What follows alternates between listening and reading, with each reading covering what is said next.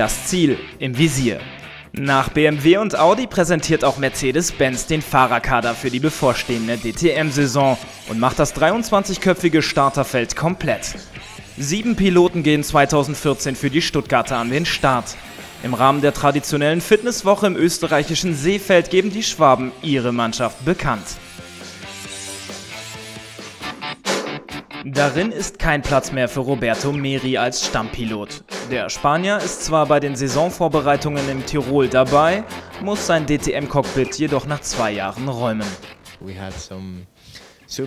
Wir hatten gute und schlechte Zeiten. Es ist nicht einfach, einen Platz in einem DTM-Cockpit zu bekommen. Letztes Jahr wollte ich bessere Ergebnisse erzielen. Im Rennen war ich meistens konkurrenzfähig, aber in der Qualifikation lief es nicht. Ich bin sehr oft von den hinteren Plätzen gestartet und von da ist es natürlich schwer, nach vorne zu fahren. In 20 DTM-Rennen sammelte Meri 26 Punkte. Höhepunkt der zweite Platz beim Saisonfinale in Hockenheim 2013. Man hat gesehen, dass er beim letzten Rennen wirklich sehr schnell war. Ich denke, da konnte er wirklich nochmal zeigen, wie gut er eigentlich wirklich ist. Und er ist ja immer noch ein Teil von uns und auch jetzt ist er dabei ähm, und ja, steht uns noch zur Seite, unterstützt uns. Unterstützen wird der 22-Jährige die sieben Einsatzfahrer als Testpilot bei der Entwicklungsarbeit mit dem DTM Mercedes AMG C Coupé.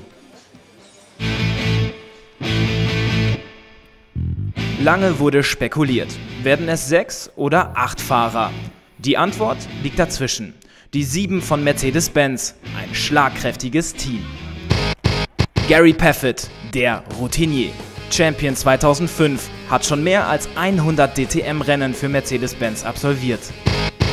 Paul Di Resta, der Rückkehrer, holte 2010 den bislang letzten DTM-Titel für die Stuttgarter und kehrt nach drei Jahren in der Formel 1 zurück in die DTM.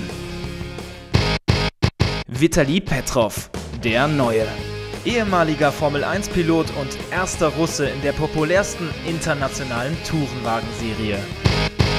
Christian Vitoris und Robert Wickens. Die Punktesammler 2013. Mit den Plätzen 4 und 5 die Speerspitzen von Mercedes-Benz in der vorigen Saison.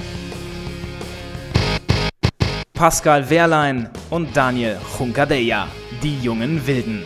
Feuertaufe im Rookie-Jahr bestanden, Form aufsteigend.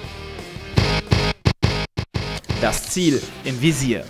Die 7 von Mercedes-Benz. Eine Mischung aus Erfahrung und Jugend, die im Titelkampf 2014 für einige Volltreffer sorgen will.